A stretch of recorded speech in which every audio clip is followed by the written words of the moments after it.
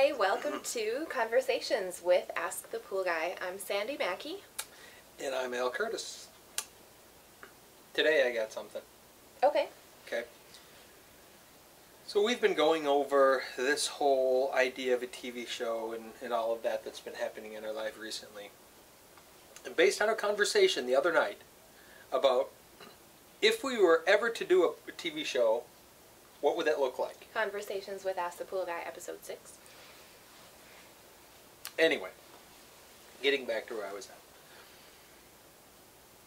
We were discussing what it would look like, what would be, we would be interested in being involved in, and what the experience is like and how we could portray from a customer perspective. And in that process, you and I had a, it was kind of an, a company aha moment of the point from the time we start to the time we leave the yard is really not about the pool. It's about the experience. It's about that place that we allow customers to kind of travel in their mind. And how many times are people sad when we're done because of that experience versus I can't wait for them to leave the yard? I want to touch on that. And the reason being, I want to get your opinion on that as well. But the reason being is I was looking and paying attention to everything that we've heard. Customers say, the industry talk about the bad experiences that happen in construction, and we're talking today specifically pools and, and how many unhappy customers are in the process because there's not communication, there's not whatever. The timeline took too long, or it started too late, or whatever the excuse is, and it really doesn't matter what the excuse is more often than not, there is an excuse though. And I, I don't know the number, but it seems to me, just based on everyone we talk to, that there's more unsuccessful experiences versus truly successful experiences in the construction process.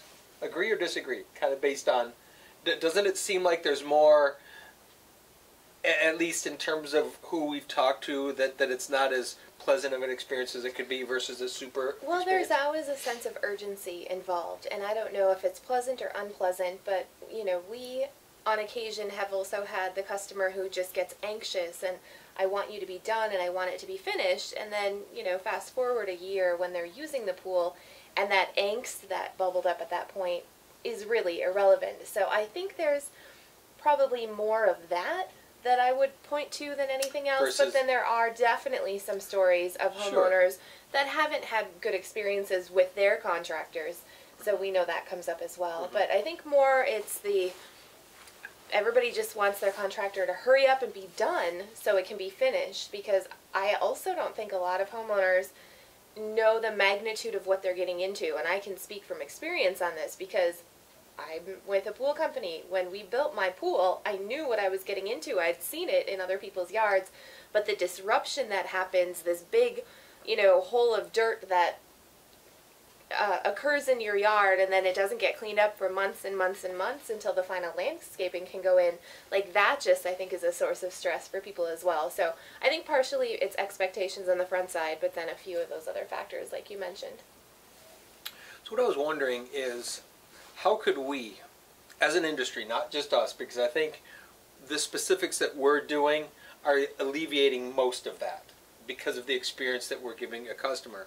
But how, as an industry, could we help business owners, pool companies, manage that or handle that? Well, let's circle back to that. Let's talk about first the a little bit more about the aha that we came up with in terms of our customers specifically and the experience that they're getting when they work with us. When we were talking about what would make a strong show and what elements could be featured, one of the ahas was kind of that yummy feeling that people have from the time that they consider getting a pool with us to you bringing back the design to them saying yes and then waiting for the start date of their pool and then seeing all the progress and then finally kind of the unveiling of the pool when they finally get to swim in it and then you know there's other incremental steps along the way the landscaping and everything else we discovered that when we thought about some of our favorite customers and the favorite customer experiences that it was that like anticipation of magic happening that people really found just super enjoyable. And we also found that if we tried to push things too quickly or if we didn't present some of those like momentous occasions in the right way, it left kind of everybody feeling a little disappointed, like it could be more. So I think that was really kind of a fun aha for us. Like, as much as we could rush to get from, okay, so there's a perfect customer and they want a pool with us and they want their design like right away and then they want a model right away and they want to get started right away. Like, that part we almost can't rush. It's got to progress a little bit because that's where some of the best feelings from the whole process, the anticipation, the magic. Um, I think that it's really important to capture and recognize that that's a highly significant moment for people. And then in the building process as well, when our customers say that it was like coming home to Christmas every day because they were noticing all these small elements, well, it's a little bit of a letdown once the project substantially completes to a certain point and there's not those little nuances every day. So teasing people with those and allowing them to still enjoy those I think is something super important. So that's kind of the aha that we came up with in terms of that they're buying a pool but what they're enjoying along the way is that whole process of you know where they started and where they hope to get to. Well, that that leads into TV as we know it in reality television, and and part of that discussion then, and then we'll now circle back again to the original question, but let me just throw this in there, is the, the formula that we that I see so much on TV really doesn't involve the homeowner other than maybe meet him at the beginning. Oh, I want this thing, and, and it doesn't matter if it's a renovation or a bathroom or a kitchen or a pool or a treehouse or a you know whatever it is. But it's this meet him a little bit, and then all this other stuff happens, and then reveal.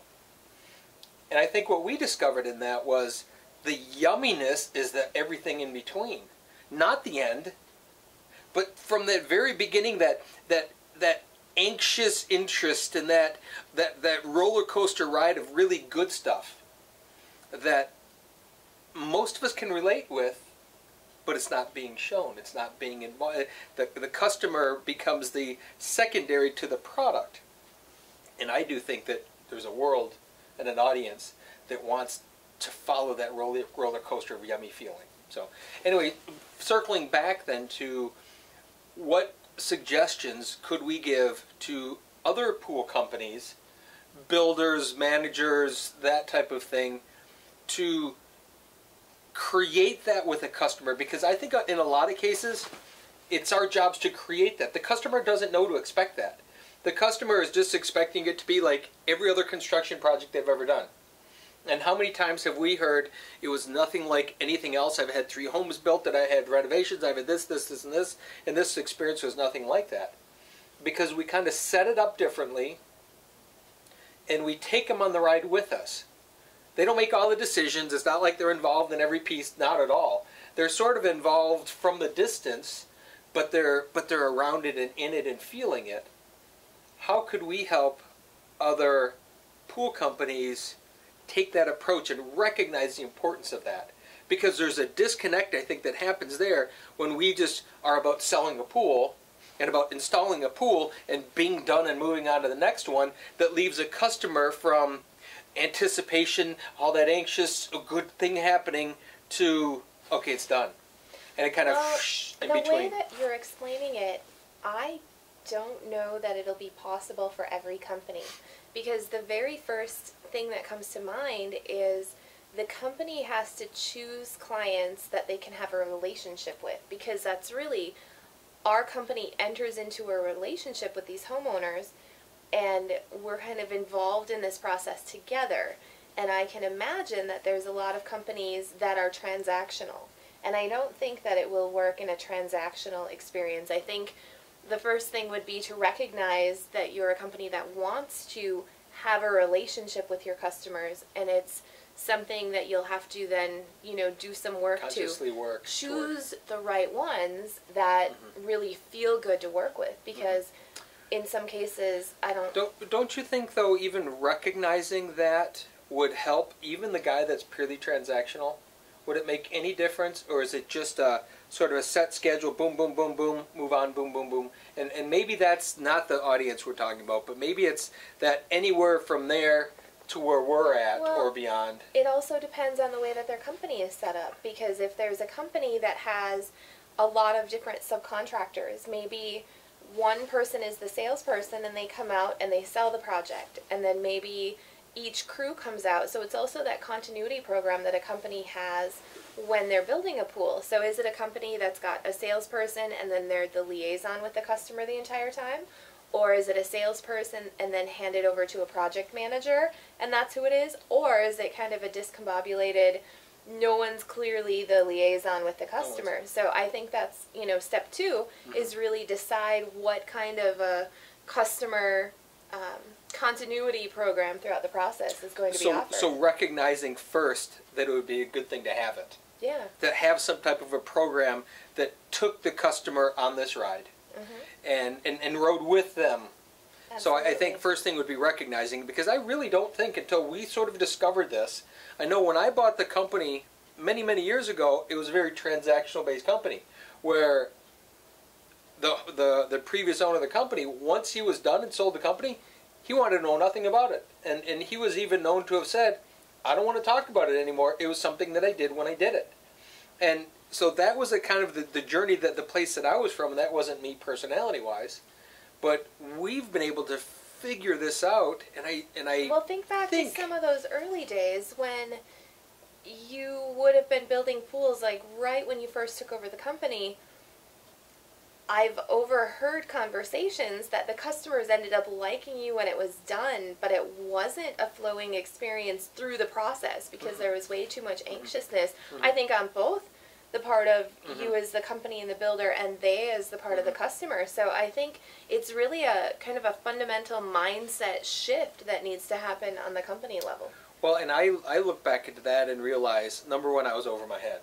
When I just jumped in and took over, I, I really had no no system of understanding what I was doing. I was just doing, and that reactionary doing then led to reaction back and forth, and and instead of, instead of responding, we start reacting, and then it, it's a snowball effect of react, react. Customer and the home and the homeowner and the company are reacting to each other versus responding and working through it. But knowing what I know now and knowing how to handle a situation, and I think more importantly, it, we've made the decision what projects we want to get into. We don't just get into every project and figure it out. We know what we're getting into. That's a piece of it that I think a lot of people could use help with as well because there's this belief system around where you just take work. If it shows up, you take it versus looking for the things that you want to do and the things that in our case it allows us to work this way. And and it's that experience from start to finish with the customer begging us not to be done. How many times does that happen now in recent times? The customer's sad when we're done. They're sad when they see us start pulling our equipment out. They they can't believe that we're not going to be there tomorrow and the next day. That happens over and over and over. Why?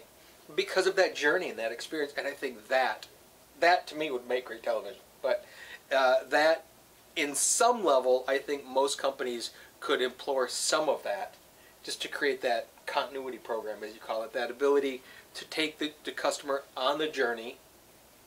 Maybe not to the level and the depth and the excitement of what we what we specifically intend to do when we do it, but to some extent, even the basic commodity product, pool product, I think I think that there's some element there that if management owner whatever stepped back and said how could i infuse a little bit of that in? Even if it is just a liaison between the salesperson and all the subcontractors.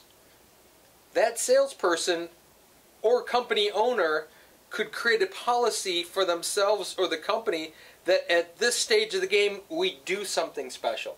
It doesn't have to be a big dollar thing. It doesn't have to be throwing whopping parties like we do.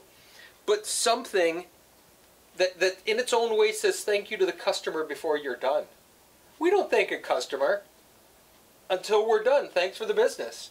Versus, you know, there, there's got to be just little tricks and ideas and, you know, showing up with towels with your names on them for their, start teasing the kids about, you know, that the anticipation of it coming. And even if it's a commodity where you're where you're pushing them in as fast as you can, you bid in twenty five dollars or fifty dollars in, in in additional cost in the project to do something cool that helps that customer with that ride versus just leave me alone until it's done and then we'll be friends again. I kind of uh, that's kind of, that was kind of my experience. It was starts really well, goes crazy in the middle, and you love me when we're done. No, I'd, I'd rather be love me at the beginning and love me all the way through the process. It just is a lot better feeling. I think some companies, as you were talking, I was trying to imagine why would some companies not be comfortable doing this? And I think fear, I think really what we're talking about kind of fundamentally is adopting a new mindset. So as you were setting that up, I was thinking about okay, I'm the company liaison, and we've got maybe we're a company that has a bunch of different subcontractors or elements or departments that have to work on a project. As the liaison, my fear might be that oh great i have to talk to the customer and maybe everything isn't lining up like it's supposed to or maybe there's time delays so I could see there being a little hesitation and fear, like, well, I don't want to just call them because then it opens up them to vent or tell me that they're upset. But if you're offering them something, you know, hey, hang in there, we're in this together, and it's like an added bonus gift, towels, some small token of appreciation, mm-hmm. I think would go a long way to start shifting that energy into one where you don't have to be afraid. And that, I think, fundamentally in the business world, a lot of companies, without doing this kind of work to examine that, they have this us versus them mentality.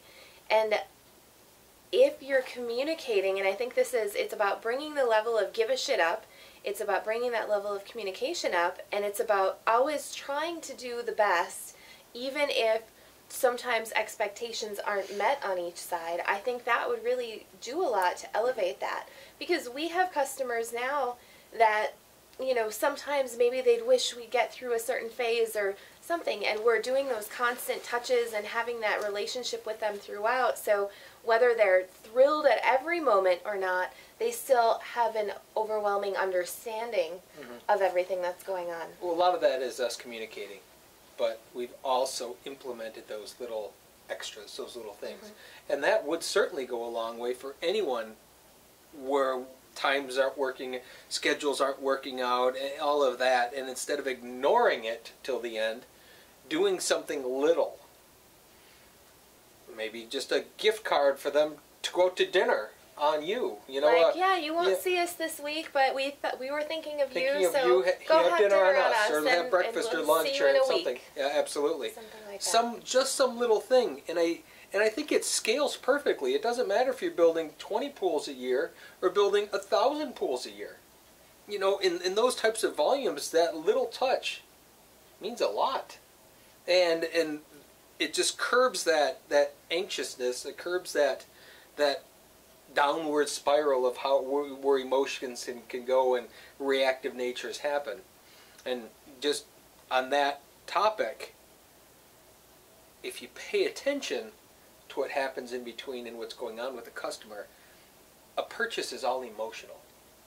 We know that anyone buying a pool, it's an emotional decision. There's some tie to it, there's some connection. Let's think about the brand new pool purchaser at the very lowest level of the market, barely getting having enough money to get in, but they want to so bad there's that anxiousness about it. There's that excitement about it. There's that they've arrived somewhere in their lives. Even if it's if it's that level that they're buying the bare basic, that's an accomplishment for them. See, we as a homeowner, as a, as a pool company owner, should honor that in them. Maybe it's not our market anymore. That's just not where we dwell. But we certainly dwell there long enough. But me recognizing that that customer that could just get into that project, that was an accomplishment to, uh, for them to feel good about where they were. And it was my job, looking back, to honor that. And if that's the market, if that's the pool I play in, if that's the if that's my pond, then I need to honor that pond, and do my best to honor that customer. That's the level they're at. That's the level that I'm at, and it's okay. We're we're in a good place. Same token as you move up into different types of scale of projects. is that person has arrived at that place that they're wanting to invest this much more money and we need to honor that as that's their accomplishment to have arrived at that point in that place. And when we play in that that arena of honoring it versus wow this guy's got a lot of money. Wow you don't. Sorry. We get into that and, and we're not honoring the basic core business that helps us grow.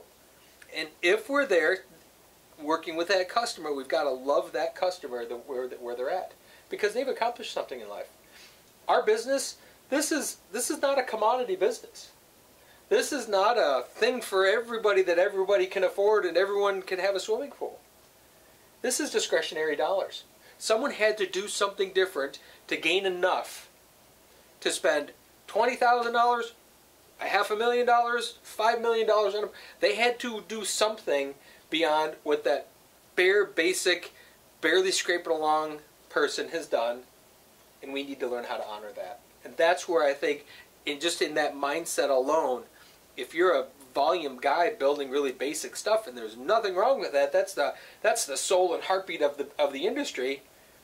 Just recognize what that customer has accomplished to get to that point and honor that in some way they deserve a great experience. Just because it's the cheapest pool on the market, they still deserve they deserve a great experience because they're making a, an emotional decision with discretionary dollars that could be spent on anything else in the world, and they're choosing you to do something. Learn to figure out how to honor that versus expect it. We, the business owners, the pool companies, do the thing that we do because it's the thing that we've always done because we do it.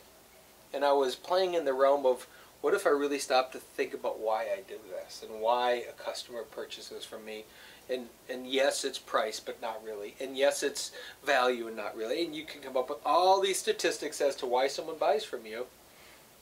But I think from our end, from the sales end, if we learn to honor people where they're at because of what they what they've done with their lives, and they have the discretionary dollar to spend with me versus doing something else with it, I think it's an interesting place to sort of dwell and think about our industry. Well, I think that's a good lead in to kind of the evolution of the pool industry as we know it because I think we should talk a little bit about pool company owners. I think some of this, you know, really thinking about your customers and thinking about your mindset is something that I don't imagine too many old school pool company owners doing. You know, some of them will, absolutely, which is awesome. But I can also picture a segment of them who are going to be busy being busy and doing things the way that they've always done and maybe not taking the time. What I really think is going to happen, though, because we've read all the recent articles about the turnover that's going to be happening in the industry from kind of the old school, you know, as you've said, the pool industry really became popular in the 60s and 70s is kind of when everybody mm-hmm. got i mean there have been pools long before that but that's when it really started to gain its traction and popularity and become mainstream so the people that started the companies in the 60s and 70s have kind of already phased out so you've got then the 80s and the 90s builders who are probably going to be approaching exit strategies and what comes next mm-hmm. so there's a whole new crop of innovative millennial thinkers that are going to incorporate this naturally. So I think, you know, maybe the segment that we can talk to the best is the people that are going to find themselves kind of right in the middle between the old schoolers and between the new millennials that we already see entering the market. Mm-hmm. There's this slice that's going to be active in the industry for another 10, 15 years who could really benefit from kind of some of this new probably process probably the people in my demographic. You know, those guys that have been around for a while, but certainly didn't start their company in the 1970s, uh, but maybe started in the, the 90s or you know mid 90s or thereabouts or even 2000s, who have some success, have some experience, but really understand that needs to go farther. That generation before me, the pool owners before me, company owners, were very much the pioneers, and they sludged their way through doing the thing that they did, and grew an industry, and became really comfortable on the laurels of having grown the industry, without the what's next part. Then guys like me came along working for them, seeing opportunity in what's next, seeing that there's this need for bigger, better, different, more interesting, and that's we see we see that happening all the time. And then we have this amazing generation following up behind us, behind me, coming up behind me that are never lived in the world without the internet, know everything about technology because that's how everything is, and they would expect it to fit right in here as well. And that revolution, revolutionizes everything again, yet again. And that next four or five years coming up with that generation, like my daughter, who's never lived a day without the internet, is 22 years old today. She's 22. And she's had the internet since she was tiny, born, basically. It was when it was becoming. So she didn't know a world without it. Her age, another four, five, six years, those are the owners of the companies that are going to really make these significant changes. And that's here now, but I'm just looking at me specifically in her age, and there's guys that are a little bit older than me that have kids working with them that are a little bit older than my daughter, and they're already making those changes because it's here. It's a time for that. Well, I have the feeling that in everything that we're doing in terms of um, putting out content on YouTube and the people that we run into at the shows and now listening to our podcast, the people that we're really getting the feedback from are the guys and the women in the industry that really do fit into that demographic similar to yours. And I think they're appreciating what we're sharing in terms of philosophy and what you're sharing in terms of kind of how you've adapted and changed because they can really look to that and they can see something of themselves in that process and it gives them hope and it gives them inspiration and it gives them um, a little bit of a blueprint to follow in terms of some of the things and the ideas that they can be having and some of the changes that they can be making. Mm-hmm. When I look at the, my demographic uh, in terms of guys and gals somewhere around my age, and we've owned companies now for 10 years to 20 years times, and, and been able to go through the ups and downs and whatever, there is a point where is this all there is? Is this all I'm going to do for the rest of my life? It's it's a business owner's midlife crisis almost. And it's it's not necessarily about the money, but it could be about the money. It's not necessarily about about the product, but it could be. But it's sort of the sense of I've now invested my basically my entire adult life into this. Is this all it can be? Is so this everything? Is it living up to everything that it could possibly so be? it's that sense of purpose, kind of coupled with the legacy mm-hmm. that yeah, yeah, you, you get it. You get into that shift versus it all being just go, go, go, go, go through those t- first 10 or 15 years. It's all about establishing yourself. And then you get to that point and you go, well, number one, am I really established? And number two, what am I leaving behind? What am I really doing with this? Do I really, am, am I sharing myself?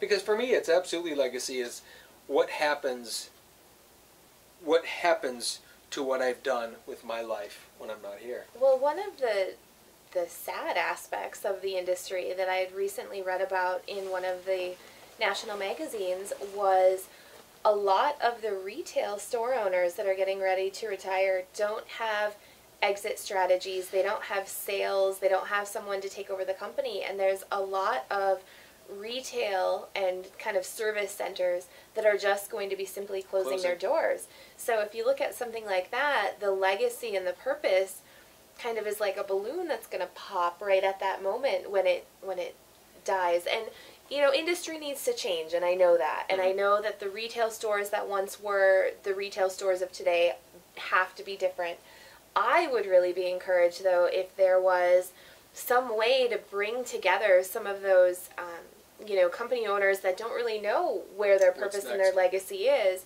kind of bring them together with some of the newcomers in the industry to share some of the knowledge and experience mm-hmm. before they just say i don't know what else to do. I'm just going to close the door. I think there's a big opportunity for kind of pairing up or sharing that you know wealth of information from the industry without just letting it go by the wayside. I think down those lines, there's also this group of guys and gals. I keep saying guys, but it really is guys and gals. Although, from a traditional sense, it's certainly more men than women. Now we we've got a lot more women in the industry. But these people that started these businesses many years ago, retail based, and now they're getting up there in years and they're ready to kind of be done with it and all along the process was, Well, when we get there, well, an exit strategy would be to sell the retail store, and that's part of our retirement. Well, who wants to buy the retail store?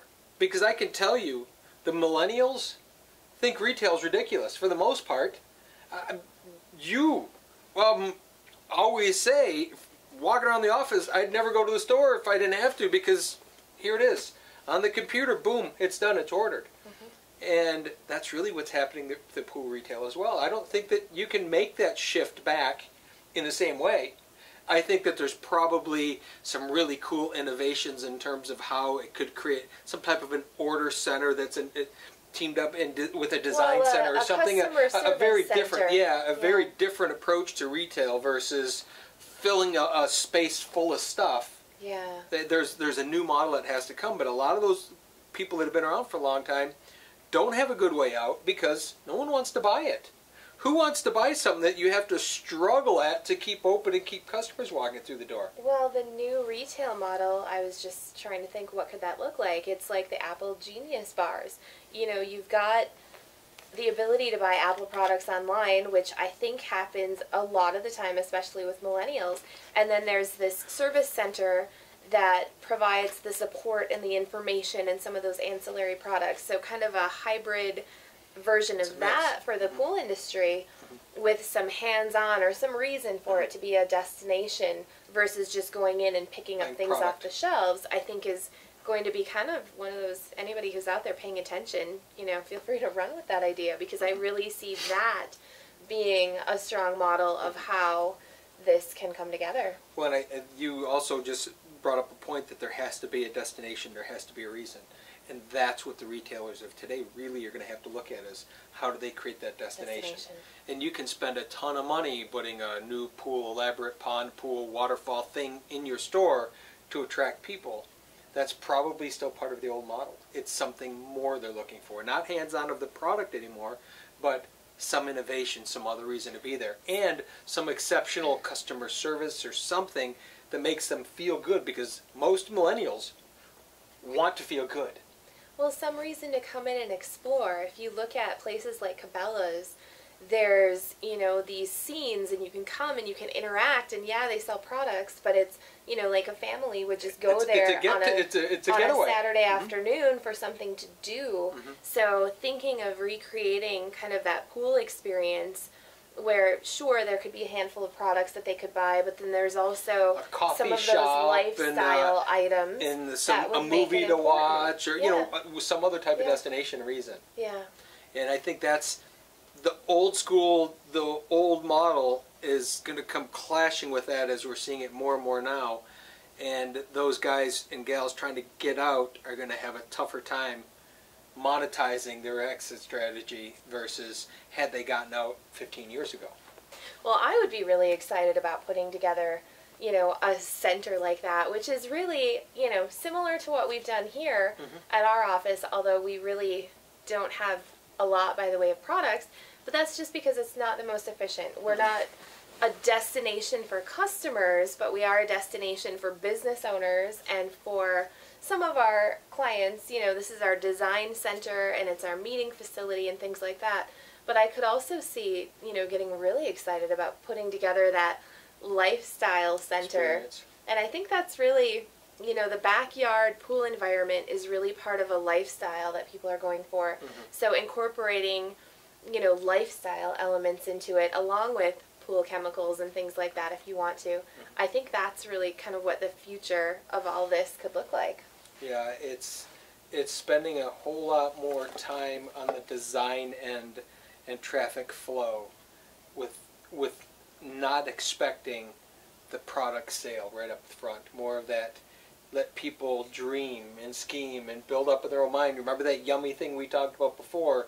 That process of making the decision can be really fun and it can be all of that. And that's what it would be. And necess- the end as they walk out the door isn't necessarily that you sold a product, but rather that you got them dreaming.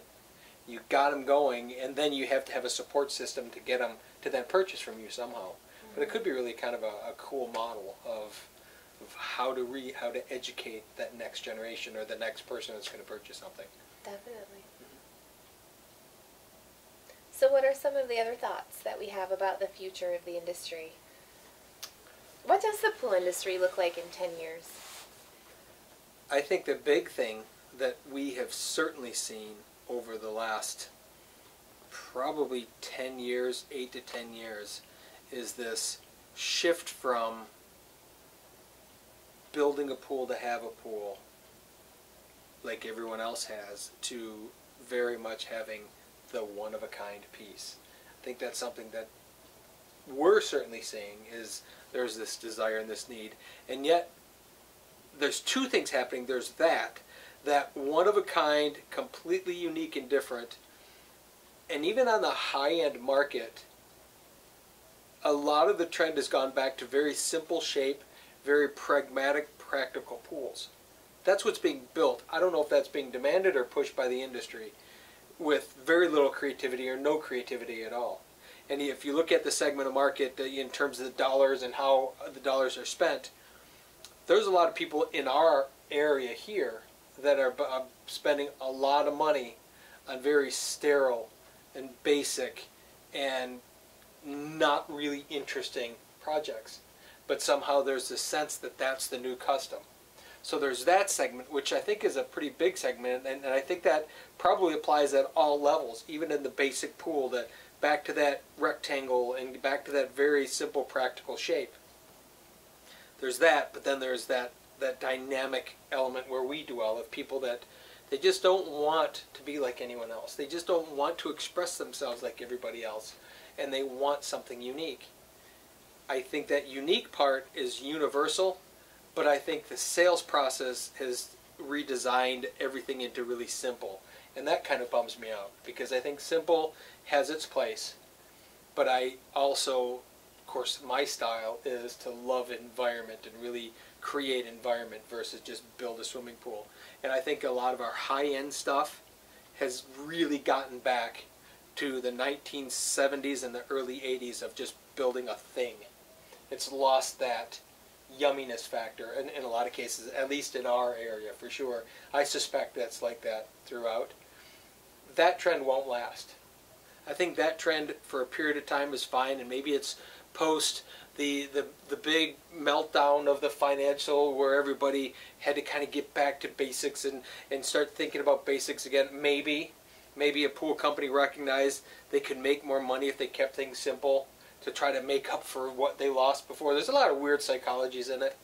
I don't know if I agree with any of them, but a lot of guys that I've talked to in the past number of years have talked about really basic shapes, really simple shapes, rectangles with you know they, they have stuff on them. I mean, there's there's a lot of things being done, water features and you know fire effects and uh, automatic covers and there's a lot of that stuff that ancillary to the basic pool, but the pools themselves aren't really interesting and I, I don't think that that'll last. But I think that's something that we've seen over the last couple of years. Well, do you think we've seen it because our audience is changing, or do you think that we're just trying to see things differently, so we are seeing it? No, I think we're. I I think enough people have talked about it in that way, that there's enough.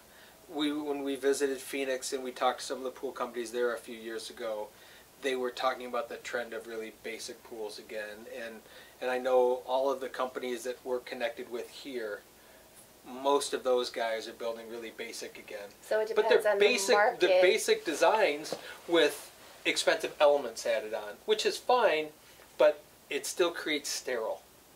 And I don't, I personally don't think that they're doing the customer the due service that the customer is really looking for, because I think the customer is really looking for something with a wow factor, and they're getting it's okay. I mean, it's I, I would rather the build than not build, and I think it's all right. But I also think that the industry in general, after the 2008 2009, everyone scrambled to try to find any work, and I know we've had conversations with companies all over the country that went from building massive amounts of pools to building very little in those years, and tried to had to figure out how to survive. And that's that's growing again. We're seeing the the uptick again, and now I think is a time where people can put the pedal to the metal and say, what could we do if we open our minds to it? I don't think most of them will. I think most of them will kind of be real cautious, hold back, never know what's going to happen. There's all those same tapes in our heads that are saying, well, I'm not sure what tomorrow's going to bring. And yet I think this is an opportune time to say, let's, let's let it all out again.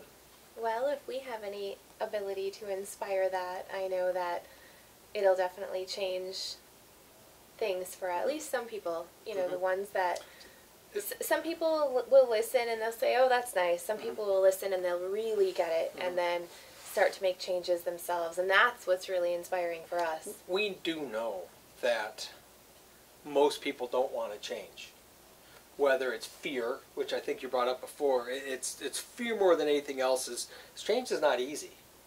It's not really hard, but it feels hard, and most people won't change. That's not really who we're talking to, though. We're talking to that person that Wants, wants it, change, or, or, or they're or they're trying to figure out what it is that they want. maybe not quite sure They don't even know how, yet. but they kind of mm-hmm. get the mm-hmm. sense that there's something. That's who more. will who will be attracted to us anyway. That's because that's our style. Our style is all about change all the time and pushing the boundaries of who we are as people, not just our industry, but as people. We're always trying to find the next new thing that's going to keep us us inspired and excited about life in general, not just pools. So that's the guy that's going to be attracted to us anyway and want to pay attention to all of our blabbering on and on and on. But it's really good stuff. I mean, we're, we're, in a whole new arena that really hasn't been addressed in our industry. There hasn't been a spokesperson, there hasn't been a person talking like this out loud for the world to hear. There's been guys, you know, in all the years and all the shows I've gone to, and I've been at this a long, long time, and I spent countless hours in the seminars learning from the best in the industry and all the the guys have been around for a long time to hear the way that they talk. One time out of every seminar I ever went to, did anyone talk about energy and the energy and how it feels and the flow of energy and, and how you approach something? One guy, one time, that was it. Never heard another word from him about it. Been to plenty of other- seminars of his and all of that. One time. And it was probably just not handled. It wasn't. It, it, there were people in the room, but maybe they just didn't get it. And you know what, though? Maybe not everyone's going to get it, but some will. Shame on the industry, and shame on the the guys pu- deciding who gets to speak and what they speak about. There should be more of that because even if it's not a big audience, it's a game-changing audience. It's those guys that really start digging deep into who they are as people, let alone as companies, that will make huge shifts. But the powers that be follow in you know let's pick the generic topics that appeal to more people and if someone would step off that edge just a little bit and just dwell over there a little and give the industry a little bit of that at the in the national exposure part at shows and things where there's education even if it was one class at every show and you put a few people in the seats maybe it's not the popular one that has 400 people in the room but put get 50 in that room and have it be three quarters empty, but 50 people that go, yeah, yeah, I get it. They would make a difference.